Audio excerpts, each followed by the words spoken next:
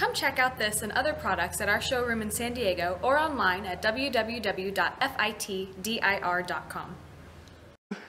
Just kind of set your feet standard, straight ahead, okay? Pull across, all the way down. Pull, get those obliques working. Big pulls.